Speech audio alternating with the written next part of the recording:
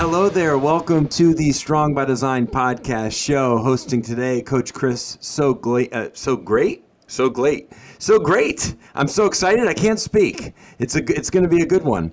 Uh, it's so great to have you. And and by the way, I don't edit out mistakes. Okay, I, that's not how we roll here at Strong by Design. I'm a human being. I mess up. I make mistakes a lot. If you ask my wife, and um, so I just let it roll here. So I hope you just let it roll in your life. If this is the first time you've joined the Strong by Design podcast, fantastic to have you. Thank you so much. You've landed on a great episode to start with.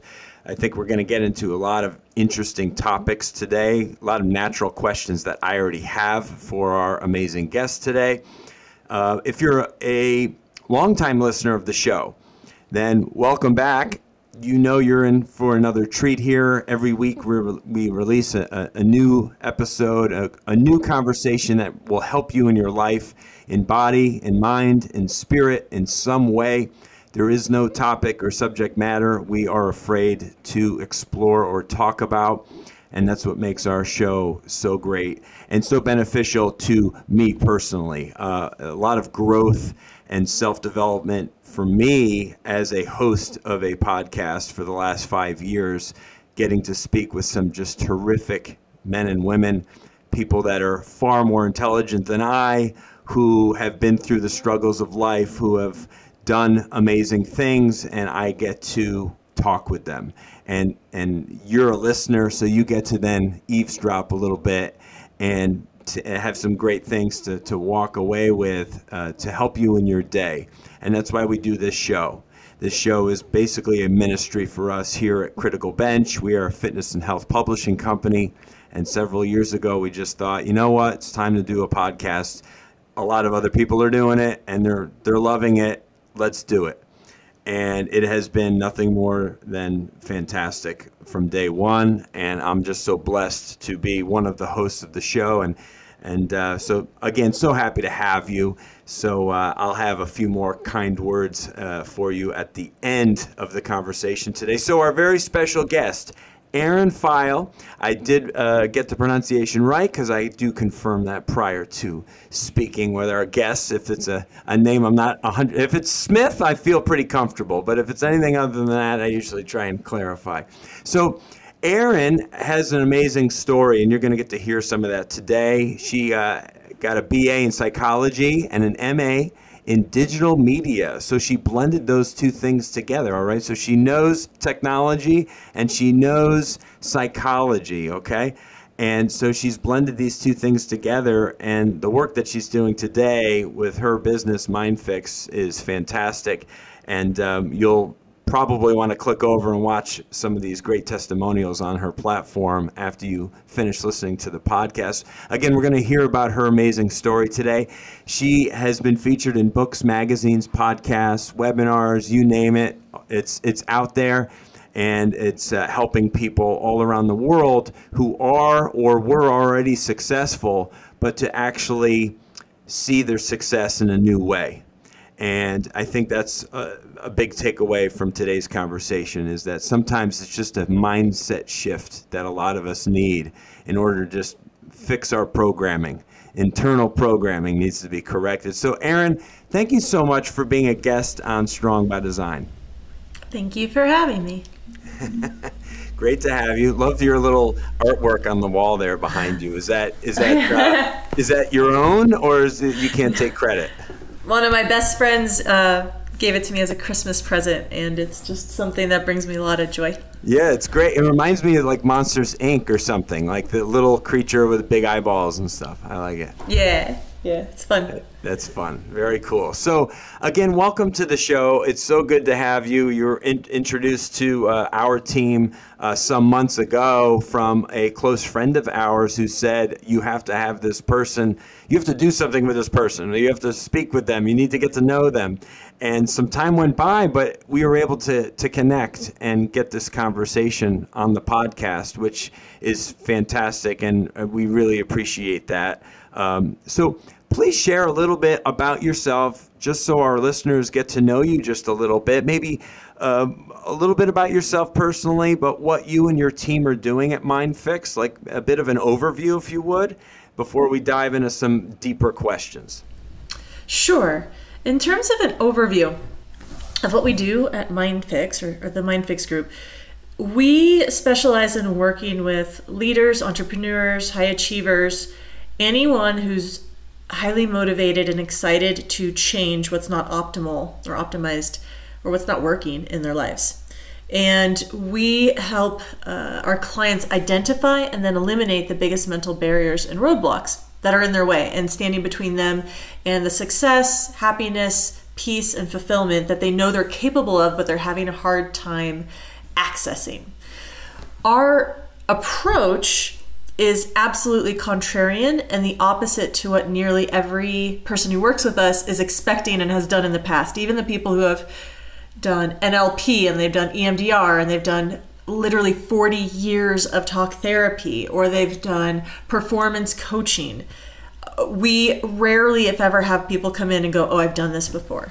And that's because our approach, when I say contrarian, I mean that everything we do here at MindFix with our clients is about success through subtraction. So, in most coaching and therapy models, it's a lot of addition. It's a lot of we're going to teach you how to cope with your challenges. We're going to give you strategies and tactics and tools to help you manage the symptoms. Oh, you're having a lot of anxiety? You got to take some ice baths and meditate more so that you can manage the symptom and kind of deal with the anxiety every time it comes up. Are you having anger problems? Here's a tool to count backwards from 10 to try and manage this anger that keeps showing up all the time that's additive and that's why people feel like i've been working at something forever is because they're just it's symptom management it's like trying to fix the stuffy nose when you have a, a really bad milk allergy right and it's like no you you want to fix the, the the root problem so what we do at mindfix instead of giving people more tools and adding more strategies is everything is about subtraction we figure out what's happening that the client doesn't want it, you know, whether it's procrastination, perfectionism, imposter syndrome, anxiety. And then what we do is we identify the root cause or causes of why they're experiencing it, and then we subtract those those root causes. When you subtract the root, imagine you know killing a weed at the root. It doesn't come back. You don't have to keep cutting the, the weed down over and over. It's simply gone. And so our approach is short term. We don't even have like continuation programs. We really want to allow people to come in, identify and eliminate the root causes of their challenges, and then get on their way and be successful and fulfilled and, and happy in their lives. So that's yeah. the work that we do at MindFix. I love it. I love it. It's it's addition by subtraction. it's like get better by removing some things because we're all so connected and and to just about everything happening, you know, whether it's the the relationships in our lives, right, or, or things at work. We we are constantly plugged in and tied to all of these things, which can be quite exhausting and and um, nerve wracking and overwhelming for a lot of people. Whether whether you're a business owner or you know work, work for a business, it seems like a, a lot of burdens and and overwhelm uh, is a, is the kind of the feeling and the mood of the day. Um, and I mean, I, I, I understand it. I work, I work online for a living, um, and I'm responsible for a lot of stuff. But a lot of the best learning that I've done over the years is is that priority mindset type thing and focusing on the one thing and and all the other stuff kind of seems to line up a lot better when you're more more of a narrow focus I guess uh, than being so uh, overwhelmed by the, all of the things coming at us. Um, what what say you when it comes to that? I mean, is is some of this, and you know, our conversation will probably go in different directions, but is some of this, do you think, a little bit driven by the technology side of our existence as human beings? Some of this overwhelm and, and feelings uh, that that people can't seem to get out of their own way or escape, escape this anxiety of life? Hmm. It's certainly not helping. I've read quite a few number uh, a number of books um, that have talked about just how uh, people are having dopamine in you know deficiencies and the dopamine fix and our attention spans have dwindled. And we are constantly always looking for the next update the next hit. And it's there's this inability to truly be at rest with ourselves without additional information or or data coming in. And it's become full-blown addiction level. So um, does it increase anxiety? Does it yes. It's also an anxiety management tool though to constantly be online. There's anxiety that comes up and we zone out with with online and, and social media and things like that. So i would say that it's a symptom management tool and it's also exacerbating the underlying issues that exist anyway with people's root self-esteem and self-worth and value self-doubt and the things that uh, you know concerns about money and life in the world those all exist to begin with. Getting constant data that confirms these things and and that perpetuates those is uh, just adds you know fuel to the fire. Right. Yeah my wife the other day shared a funny meme with me on, on messenger and it was it was the mom just sitting there with the, the kid behind her just going on and on and by each little frame of the comic how bored the, the, they were. That you know and and I feel like boredom if you go back you know when I grew up in the late 70s and early 80s you know it was boredom. Sometimes you were just bored. And as a kid you had to find ways to entertain yourself. Um, nowadays it seems like parents are bending over backwards to constantly entertain their child and never let them have moments of boredom. And I think boredom actually can be very productive when you know how to how to manage yourself with it. In terms of you have to start to use your imagination a little bit more and find ways, you know, and I think that kind of starts from a young age, right? But here we are, you know, people listening probably in their 20s, 30s, 40s, right? And they maybe when they were little, they were just given things, right? As soon as they hit a moment of boredom, it was like, here you go, do this, rather than them having to kind of do it on their own a little bit. Um, and I don't, you know, I don't know if that necessarily parallels the conversation, but I think all of these things add up at some point to where we are as a society as a whole. Um, why do you think it's true that people are so weighed down by by life, if you even agree with that assessment. Like now more than ever, it seems like like depression and and and despair, anxiety, stress in life, even with very successful people, seems like it's at an all-time high. Mm.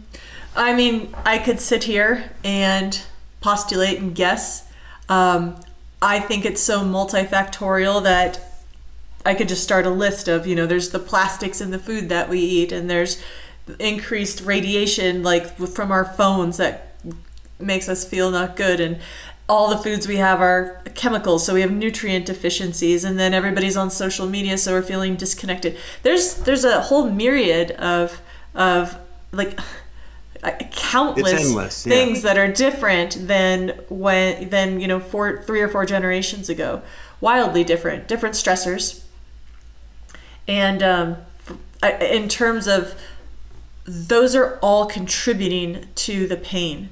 In terms of the work that we do, though, when we're here and we're working with our clients, it's not that someone shows up and they're like, oh, I had it's you know i just have a little little too little i you know there's just a little bit of iron missing in my diet and that's why i feel bad about myself and that's why i doubt myself like there are physical causes of some anxiety and depression i know this because I've gone through a severe mold toxicity myself that really impacted my thoughts and how I felt. For the most part, though, like when people come to us and they're experiencing significant patterns of behavior and patterns of thought, if it's not a actual biological or chemical issue in their body, usually it's it's something that's going on up here that can be addressed that makes them more resilient. So when they go back out into the world and they don't eat the perfect nutrition and there are the you know, dangerous waves that might cause some people to feel unsettled and they don't have the perfect relationship with their partner, they're still able to get through without severe issues and depression and anxiety. Yeah. Yeah, I mean, I a lot of people listening, I'm sure, have had bouts with that, and I'd like to hear a little bit, maybe more about your story, uh, maybe like a synopsis of of it um, that you touch on on your uh, on your platform on your website. Um, I know my wife has has dealt with that in the past, you know, and it it, it, seems it, it seems to take out a lot of people, men or women, different ages, different experiences, and and stages of life, and um, it can obviously be extraordinarily. Uh, say use use the word toxic, but it, it's it almost seems like inescapable, and the people around that person don't really understand that issue and can't seem to help fix it either. Um, and it can be very kind of feel very. Um, I don't know. Uh, the word is it's it's scary, but it also feels like, geez, I, there's just like nothing I can I can do. Helpless, a helpless feeling, I guess. Um, a question I have on this same topic is why are people, for one, so hard on themselves?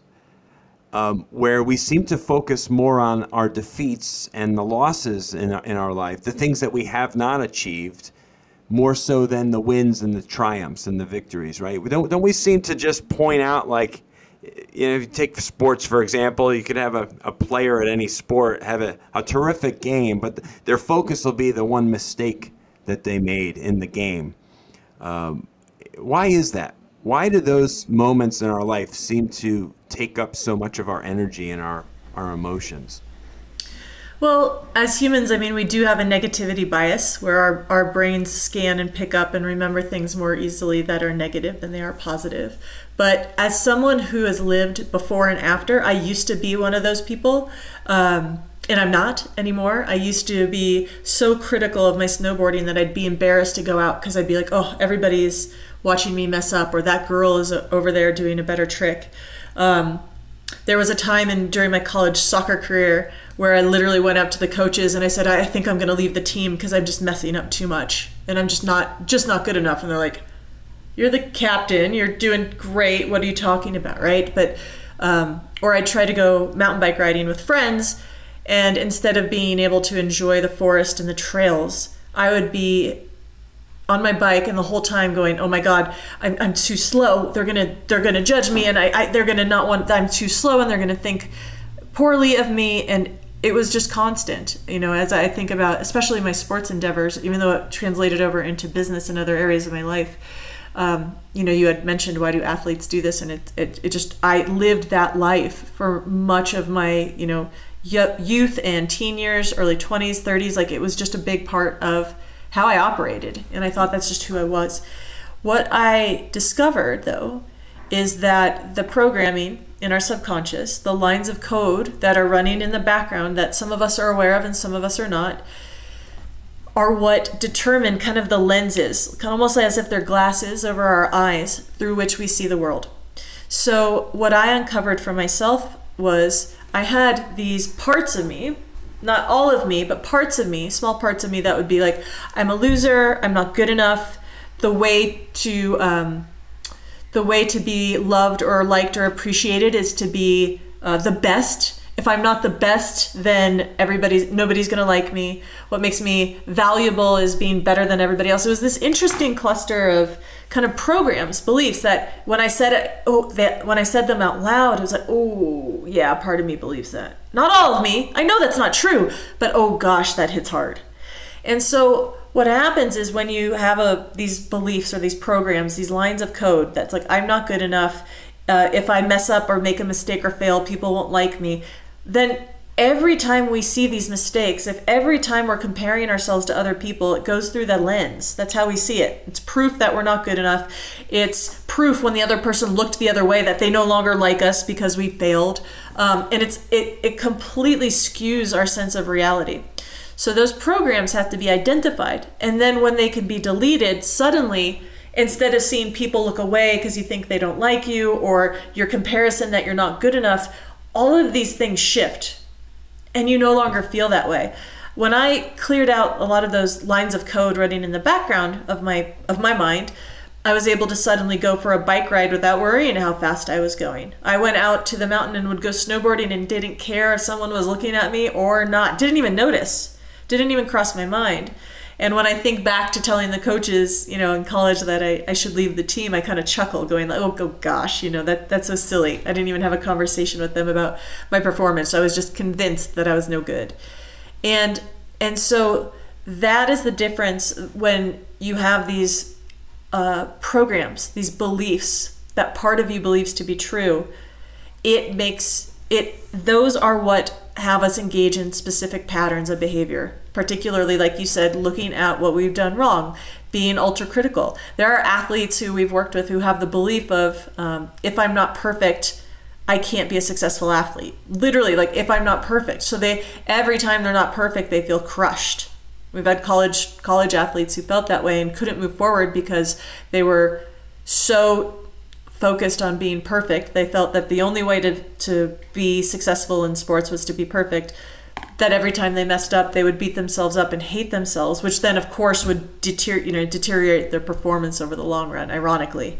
So, when you can identify these and delete them and clear them out, everything changes. So that's that's why not everybody has these problems, not everybody has these beliefs and programs, but the people who do often find it really challenging to not be critical because those programs are keeping them stuck in, in that way of seeing the world. Yeah, without question. And I love that analogy too, because we are it's it's a real easy way of understanding the way we're wired, right? We are the, the most beautifully written code ever written, right, as human beings with the billions of characters in one strand of DNA, you know. So when you think of a website, right, and you think of the code required to create that website, and if that code gets messed with in some way, and there's some extra characters added, it's going to break the page, right? So when you go on that website, that platform, it doesn't look right.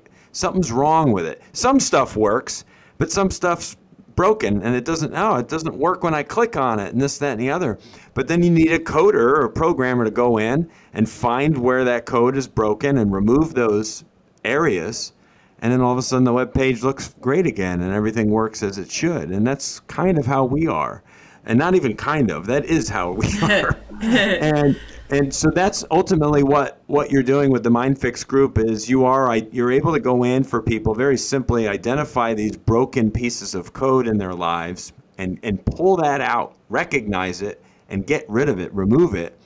So that subtraction thing that you talked about and then all of a sudden they're like wow things are things are working like they're supposed to be here. Yes um, yes and almost, yeah. oh no what, go what's ahead exci- what's exciting is when you uncover these lines of code and they are when those are the root causes the exciting part is that it doesn't have to take a long time and it doesn't require hard work or repetition which blows people's minds. And i'll give you an example my favorite example. Uh, let's say you have a problem where every time you see a little kitty cat you run and you scream right if you try to brute force it and talk yourself out of it it's it's it's a hard work. You might it's hard work. You may have to repeat that 50 times 60 times 100 times and you're still a little nervous. Now if we uncovered that underneath the surface you have a line of code that says cats are dangerous and we deleted that we subtracted that so that the next morning you walk outside and that doesn't exist in your head at all and suddenly you see a cat, there's nothing in your mind that's telling you there's any issue here. There's nothing that's saying that cats are dangerous anymore.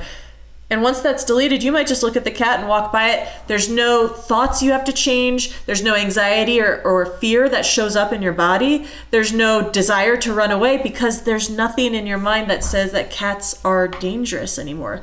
So when you when you pull out the, the root or the reason why you're stuck in a certain way of being, it's actually insanely easy. You don't need repetition or hard work or time because that line of code is just gone. So you don't act or feel or think that way anymore. Wow. That's fantastic. I like that. Um, take us back, if you don't mind, to that kind of super low point, right, where you were struggling with your own things. Um, and that shift that happened for you. You had kind of you'd gone to yet another professional, right, seeking therapy, trying to get the answers that you were looking for, that you desired, right? And you you felt stuck. You felt like this. I, how can I resolve this? I'm not. And, and then everything that you saw was like, oh, it's going to take this long. It's very complex process. You know, you're going to only make little steps in that the direction you want to go in on a you know on a daily basis. What what was this moment like for you? What was this epiphany that that you had?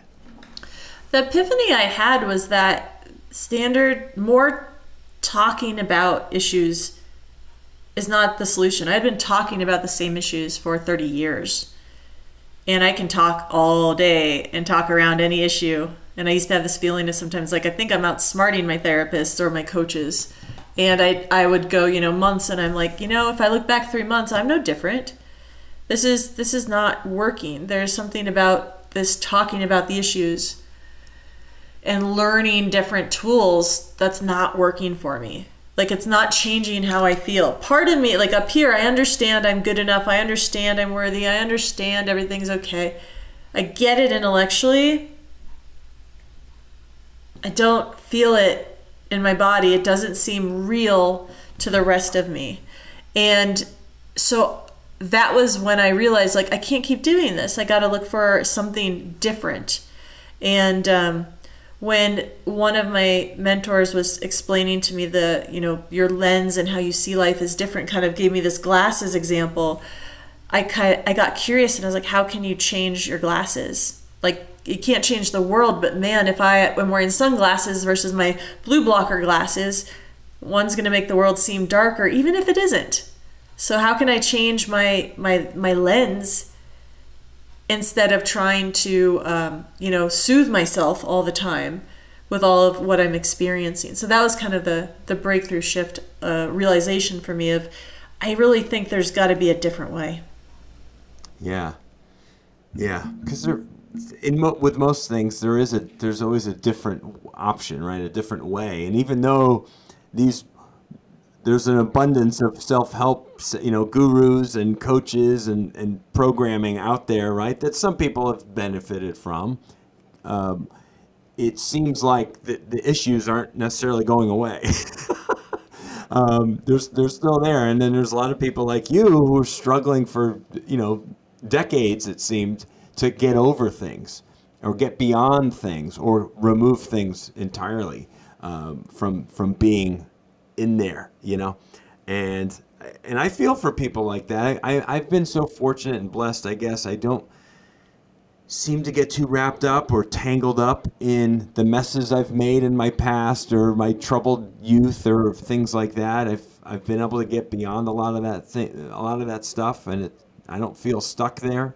Um, and I don't know. We're all, again, we're all wired a little bit differently. But I, what I've seen is I've seen a lot of highly successful people who are the ones that are proclaiming how helpful MindFix was for them, and these are people that were already very successful. Um, why is it that so many high achieving, successful people are still not satisfied with themselves, with who they are, what they've accomplished? Is it this competitivism that just is at their core where they just as they're so competitive with themselves with other people that they're just never enough? That they just can never be happy? I think you when we look at someone and we say they're successful or they're beautiful or they're smart we're looking at them and giving them a label that is just one-sided one dimension.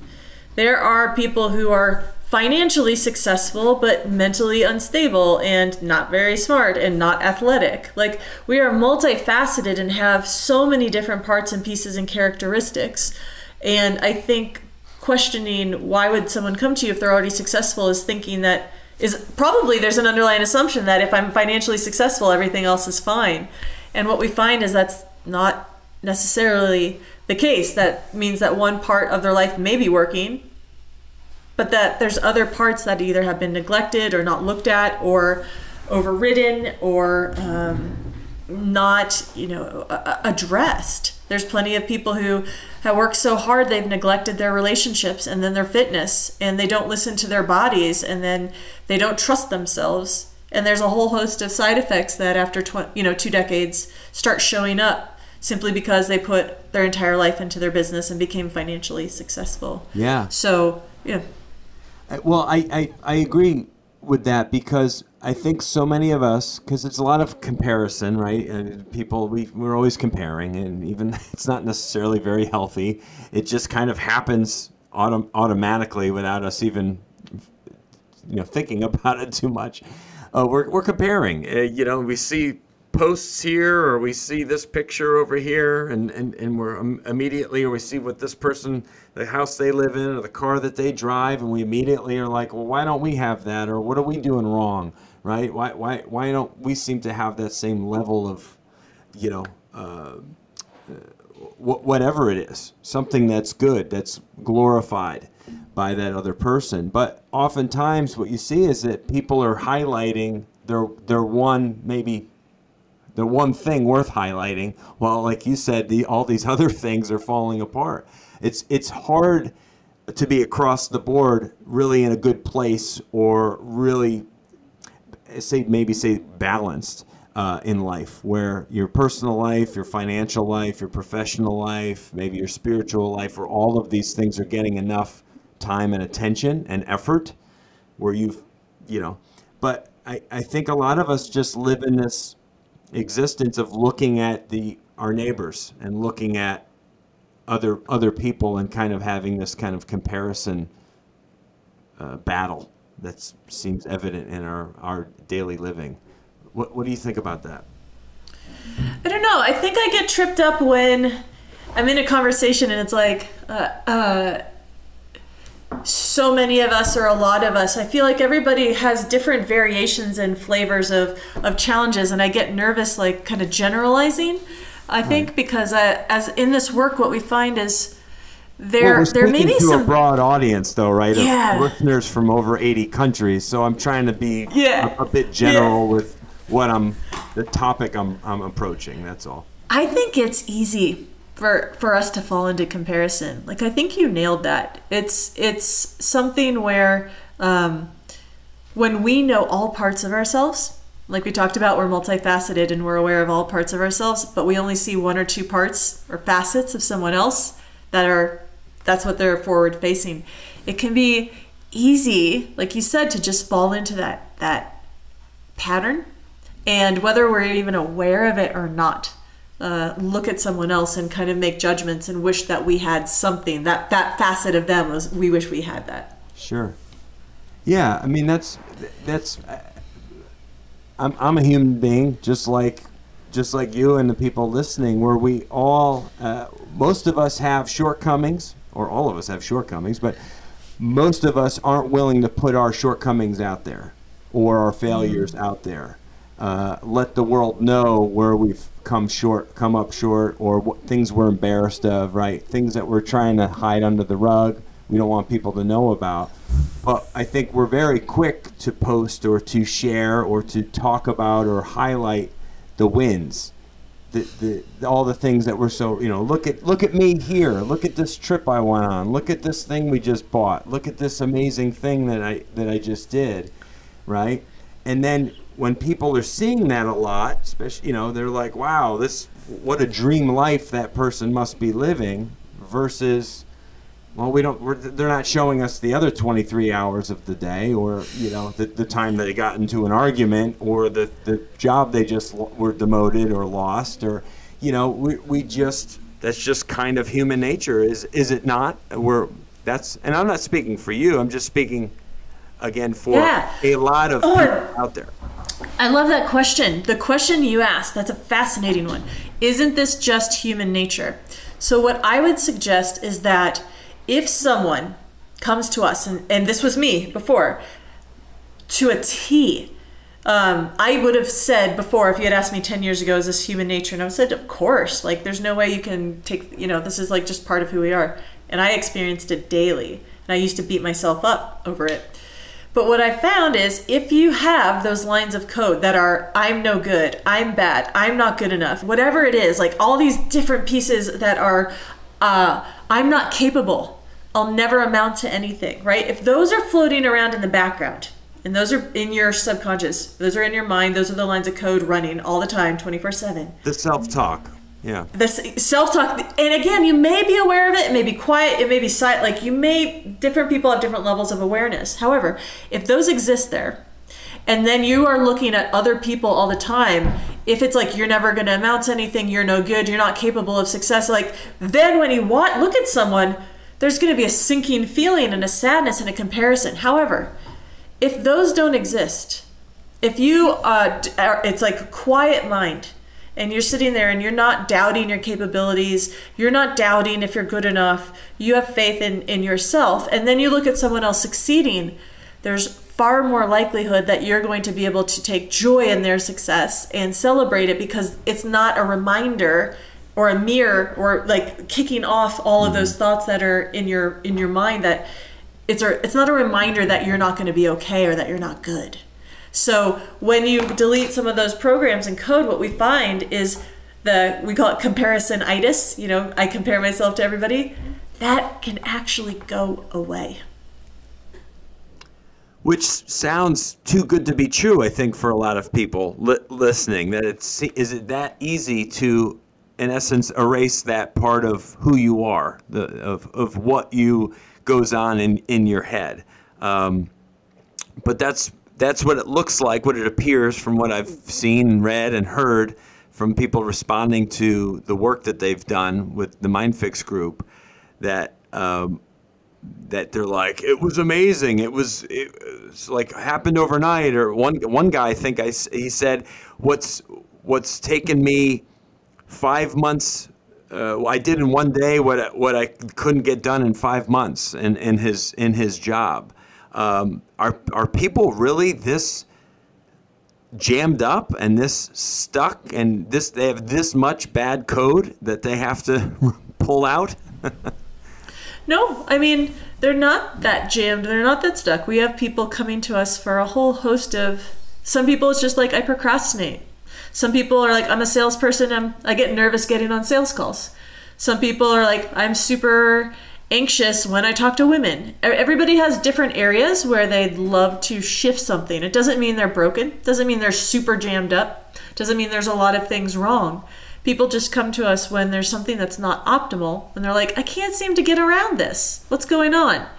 And just like you know, you can get rid of the belief in Santa Claus and suddenly for the the rest of your life you will never leave cookies out for Santa Claus again and that's that that is a permanent change.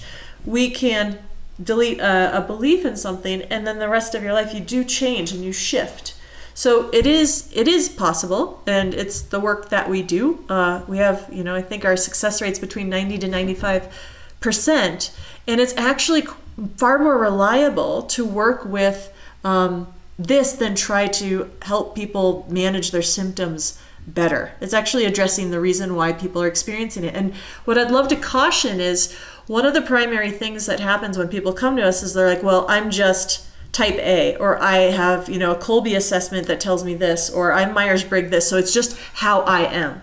And what we find is that more often than not, with many things that are challenges or problems or causing issues, it doesn't have to be a permanent part of who you are. We've had people who are bulldozers and aggressive be able to, you know, within a few weeks suddenly it's easy for them to communicate in a calm manner. Or people who thought or were told that they're researchers who couldn't stop gathering more information and more information and couldn't move forward go, you know what? I don't really need that much data. I could just make a decision quickly and trust my, my gut.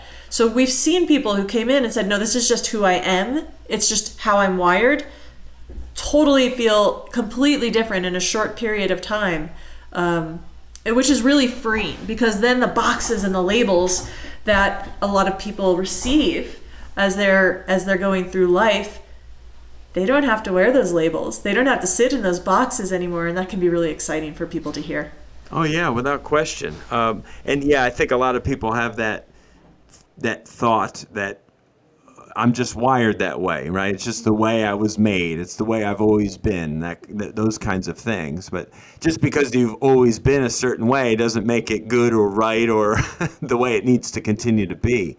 Um, you can you can go in and, and, and make these these changes. And I like that they're uh, again that as you said at the start, it's it's really a subtraction thing that a lot of us need, um, and it opens up all new opportunity. I mean, somebody as simple as, like you said, is somebody has trouble speaking with the opposite sex, right? Somebody's like, ah, I'm really bad with women. Or you, you get somebody else who, I cannot speak uh, publicly. I'm awful at speaking in front of groups, right?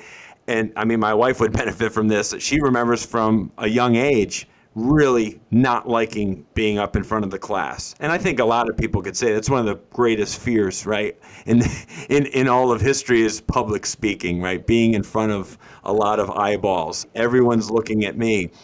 I, I I've always been opposite. I've always liked that. So I think that's where like I'm just in an I'm I don't say an anomaly, but I'm definitely in the minority with kind of enjoying that that stage presence. But um, yeah, I, would be curious because this is for everybody. So, anyone listening right now, if you're not a quote unquote professional or looking to get help in, in your professional arena, this can help you in your personal life. This can help you in your relationships. This can help you in maybe just, you know, areas of your life that no one else really knows about because you've just never cared to share uh, in your professional world, but it, it seems like large and small uh, issues are coming your way over at MindFix, and it's it's people of all shapes, sizes, and backgrounds.